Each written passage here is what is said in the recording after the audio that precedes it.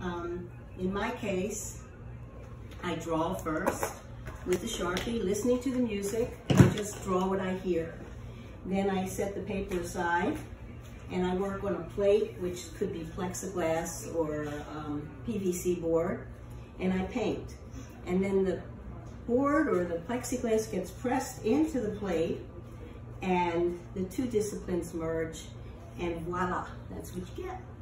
Um, I particularly love this piece because it has a sense of flight mm -hmm. and part of the project for Art Aid is about help and um, people who need to stay put and not be taken away or getting support.